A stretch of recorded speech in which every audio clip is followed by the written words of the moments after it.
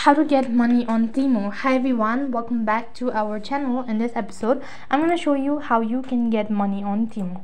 So in order to make money on Temu, there are various different ways on how you can do it.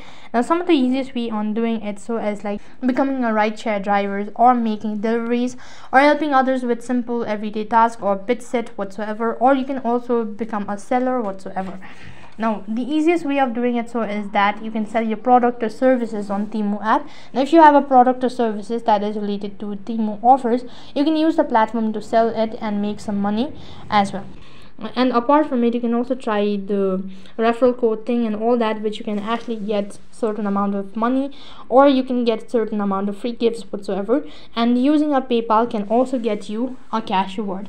So in this way you can get money on Temu app. That is all for this video. I hope the video was helpful. Make sure to like share and subscribe to our channel. Thank you for watching. See you in the next video